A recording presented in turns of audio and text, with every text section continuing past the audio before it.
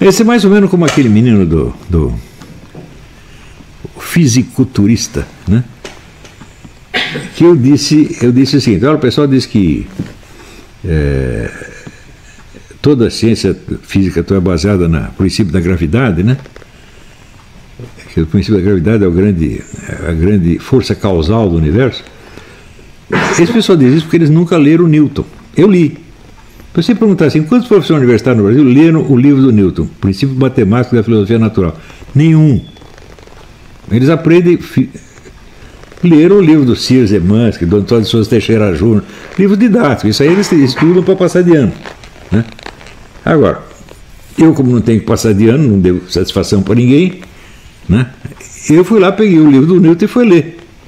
E o Newton diz o seguinte: ele diz, se alguém afirma que eu propus a gravidade como força causal sem interferência de uma terceira força, está me ofendendo. Né? Muito bem, então quer dizer que todos os discípulos do Newton que atribuem a ele a descoberta da gravidade como força causal estão todos ofendendo.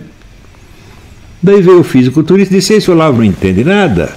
Porque depois do Newton, na época do Newton ele não tinha condição de verificar isso, mas depois do Newton todo mundo foi examinar e viu que não havia outra força né, mais básica por trás da gravidade.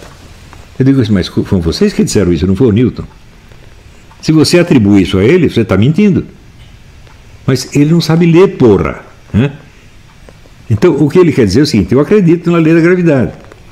Né? E como eu acredito na lei da gravidade, eu acredito que foi o Newton que descobriu.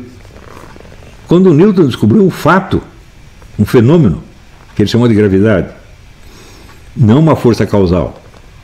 Ele nunca disse que foi uma força causal, aliás, negou que fosse.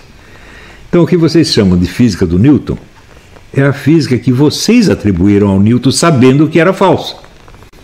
Era isso que eu estava dizendo, mas o cara, ele acha que eu estou discutindo física. Não, meu filho, eu estou discutindo história da ciência. É?